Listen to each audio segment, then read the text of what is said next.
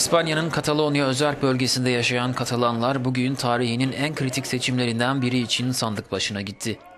Aylar öncesinden başlayan seçim kampanyasında özellikle ayrılıkçı siyasi partiler bağımsızlık temasını ön plana çıkardı.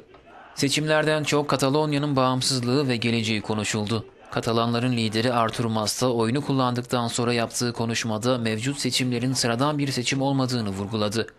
Artur Mas, herkes bunun sıra dışı bir seçim olduğunun farkında. Bu basit bir seçimden çok Katalanların geleceğini belirleyecek bir oylama dedi.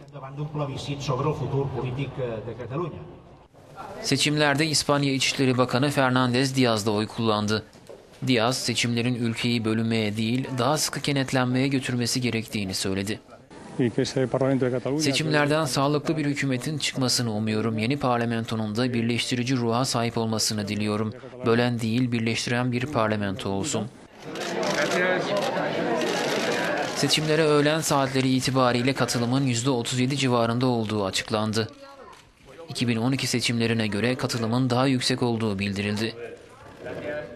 İspanya'da Aralık ayında yapılacak genel seçimlerde Katalonya'nın bağımsızlığı için önem arz ediyor.